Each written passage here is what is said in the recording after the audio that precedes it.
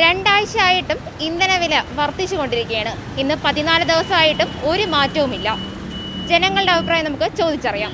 ഇതേപോലെ നമ്മളെ പോലത്തുള്ള സാധാ ആൾക്കാരുകളെന്ന് പറഞ്ഞു കഴിഞ്ഞാൽ നൂറ് രൂപയ്ക്കെല്ലാം അടിക്കുമ്പോഴത്തേക്കും നമുക്ക് സംതൃപ്തിയില്ല. കാരണം ഒരു ലിറ്റർ അടിച്ചുകൊണ്ടിരുന്ന സമയത്ത് ഇപ്പം കിട്ടുന്ന അര ലിറ്ററാണ്. കാരണം ഇരട്ടി വില. ഇനിയും കൂടെ ആണെങ്കിൽ എന്ന് പറഞ്ഞു കഴിഞ്ഞാൽ സാധാ ആൾക്കാർക്ക് വണ്ടി ഇറക്കാൻ പറ്റാത്ത ഒരു അവസ്ഥ തന്നെ വരും. അത് തന്നെ ഇപ്പോഴത്തേക്ക് ഇപ്പോഴത്തെ സർക്കാരിനോട് പറയാനുള്ളതെന്ന് പറഞ്ഞു കഴിഞ്ഞാൽ ഇന്ധന വില ഇങ്ങനെ കൂട്ടാതെ നമ്മളുടെ മാക്സിമം നമ്മളുടെ ജി എസ് ടി കാര്യങ്ങളൊന്ന് കുറച്ച് കഴിഞ്ഞ് കഴിഞ്ഞാൽ ടാക്സും കാര്യങ്ങളും കുറച്ച് കഴിഞ്ഞ് കഴിഞ്ഞാൽ നമുക്ക് ഇത് കുറയ്ക്കാമെന്നാണ് എന്റെ അഭിപ്രായം. സാധാരണപ്പെട്ടവർക്ക് ഒരുപാട് ബുദ്ധിമുട്ടുണ്ടാവുന്നു അത്ര തന്നെ. എല്ലാവരും അവരവരുടെ ഈ വോട്ടവകാശം കറക്റ്റായിട്ട് ഉപയോഗിക്കണം. അല്ല ഇപ്പോൾ എന്താ ചെയ്യുന്നത് ഇപ്പോൾ ചോദിക്കാനും പറയാനും എല്ലാവരും കണക്കാണ്. പ്രതിപക്ഷത്തിരിക്കുന്നവരും എല്ലാവരും കണക്കാണ്. ശക്തമായ രീതിയിലൊരു മുന്നോട്ട് നല്ല രീതിയിൽ പ്രതിപക്ഷം കറക്റ്റായിട്ട് അവരുടെ കാര്യങ്ങളൊക്കെ പറഞ്ഞായിരുന്നെങ്കിൽ ഒരിക്കലും ഇങ്ങനെയൊന്നും വരത്തില്ല. ഇതിപ്പോൾ ചോദിക്കാനും പറയാനും ഈ നാട്ടിൽ ആരും ഇല്ല അതാണ് വിഷയം. ഇഷ്ടമുള്ള പോലെ ചെയ്യാം. നല്ല രീതിയിൽ പ്രതിഷേധിക്കുവാണെങ്കിൽ പ്രതിപക്ഷം അവരുടെ കാര്യങ്ങളൊക്കെ കൃത്യമായിട്ട് ചെയ്യുവാണെങ്കിൽ ഇങ്ങനെയൊന്നും വരത്തില്ല. പെട്രോൾ വില കൂടിക്കൊണ്ടിരുന്ന നമ്മുടെ ഇല്ല പെട്രോൾ കൂടുന്നു.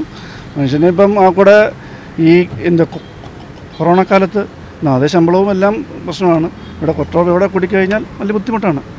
വലിയ വലിയ വലിയ വലിയ വലിയ ബുദ്ധിമുട്ടാണ്. സാധാരണക്കാർക്ക് ഭയങ്കര ബുദ്ധിമുട്ടാണ്. പിന്നെ പെട്രോളിന്റെ വില ഇങ്ങനെ പോയിരുന്നാൽ എല്ലാം എല്ലാ സാധാരണ സാധാരണ എല്ലാ ആൾക്കാരും അവർക്ക് ഭയങ്കര ബുദ്ധിമുട്ടായിരിക്കും. ജനങ്ങൾ പ്രതികരിച്ചിട്ടും കാര്യമില്ല. തീരുമാനിക്കുന്ന മുകളിൽ നിന്നല്ലേ. അവർക്കുള്ള ലാഭം നോക്കിയിട്ട് ജനങ്ങളെ ബുദ്ധിമുട്ടിക്കുക അത്രേ ഉള്ളൂ. അതിൽ കൂടുതലൊന്നും പറയാനില്ല. അതായത് കുരങ്ങന്റെ കയ്യിൽ പൂമാല കൊടുത്ത പോലെ അത്രേ ഉള്ളൂ. സാധാരണക്കാരെയാണ് കൂടുതലും ഇത് ഫീൽ ചെയ്യുന്നത്. കാരണം പെട്ടെന്ന് പ്രതീക്ഷിക്കാതെ എത്രത്തോളം വില മാറ്റം വരുമ്പോഴത്തേക്ക് മെയിന്റെയിൻ ചെയ്ത് പോകാൻ ബുദ്ധിമുട്ടാകും പിന്നെ ഞങ്ങളെപ്പോലുള്ളവർ ഈ പെട്രോളിന്റെ മൈലേജിനെയും കൂടെ ആശ്രയിച്ചാണ് മുമ്പോട്ട് പോകുന്നത്. അപ്പോൾ പെട്രോളിന് വില കൂടുമ്പം അതനുസരിച്ചുള്ള ഇൻകമിൽ നമുക്ക് നഷ്ടം വരാറുണ്ട്. അപ്പോൾ അത്രയും മെയിന്റെയിൻ ചെയ്ത് കൊണ്ടുപോകാൻ ബുദ്ധിമുട്ടാണ്. അപ്പോൾ ഈ തുറ ഇങ്ങനെ തുറന്നു പോകുകയാണെങ്കിൽ എല്ലാത്തിനും വിലക്കയറ്റം ഉണ്ടാവും. അതുപോലെ അതനുസരിച്ചുള്ള വില ഇന്ധനത്തിന് വില മാറുന്ന അനുസരിച്ചുള്ള പ്രോഫിറ്റ് അല്ലെങ്കിൽ ആ വരുമാനം നമുക്ക് കിട്ടണം. ഇതുകൊണ്ട് യൂസ് ചെയ്യുന്നത്. അല്ലാതെ നിത്യമായിട്ട് സാധാരണക്കാരനെ പോലും ശരിക്കും ഇത് ഇന്നത്തെ സാഹചര്യത്തിൽ ഫീൽ ചെയ്യുന്ന ഒരു അവസ്ഥയാണ്. കാര്യം ഈ കോവിഡ് വന്ന സമയത്ത് കോവിഡ് വന്ന് കഴിഞ്ഞപ്പോൾ എല്ലാവരും ഫിനാൻഷ്യലി ജോലിയില്ല.